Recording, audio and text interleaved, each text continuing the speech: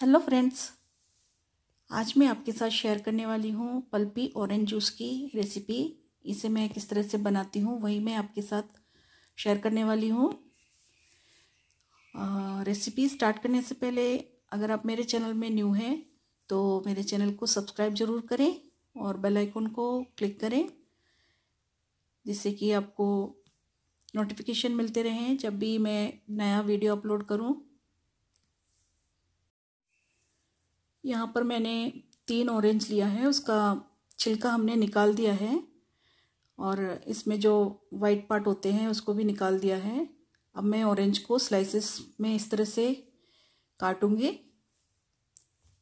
इससे सीड्स निकालने में हमें बहुत आसानी हो जाती है और सारे सीड निकल जाते हैं। आ, तो आप देख सकते हैं मैं इसको राउंड राउंड पीस स्लाइसेस में काटने के बाद छुरी की सहायता से इसके सीड्स सारे निकाल दूँगी।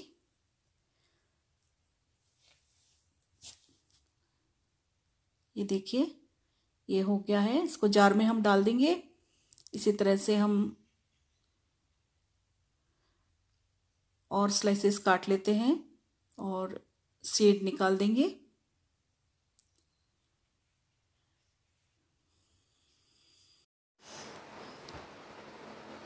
सारे ऑरेंज को हम इसी तरह से स्लाइसेस करके सीड निकाल देंगे। ऑरेंज का जब हम स्किन निकाल देते हैं तो अंदर एक वाइट पार्ट रहता है, ज़्यादा से ज़्यादा उसे निकाल दें।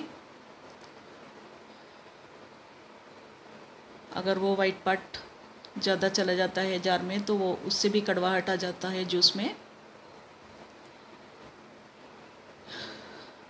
जूस हमेशा याद रखें कि फ्रेश फलों का ही बनाएँ और बना के आप उसे ज़्यादा देर के लिए ना रखें, तुरंत उसे कंज्यूम करें।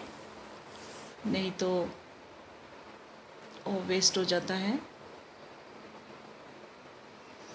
तो जैसे ही जूस बनाया, तुरंत ही उसे सर्व कर दिया। ऐसा होना चाहिए। आप देख सकते हैं, सारे सीड आसानी से निकल जाते हैं इसमें से। छुरी की सहायता से।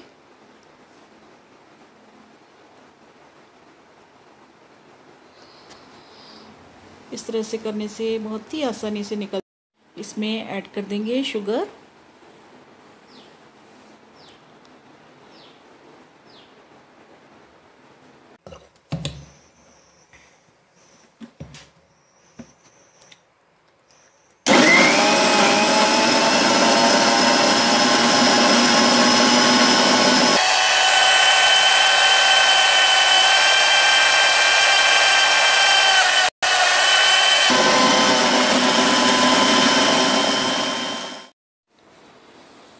तो जूस बनके रेडी हो चुका है।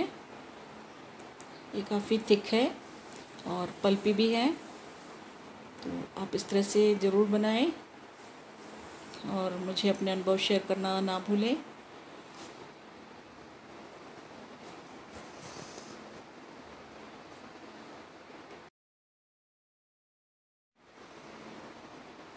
ट्राई ज़रूर करें। और अपने वैल्यूबल फीडबैक देना ना भूलें। और भी बढ़िया बढ़िया रेसिपीज़ के लिए आप मेरे चैनल को सब्सक्राइब करें। अगर आपको ये रेसिपी अच्छी लगी तो इसे लाइक करें शेयर करें और चैनल को सब्सक्राइब करना ना भूलें। Thank you so much.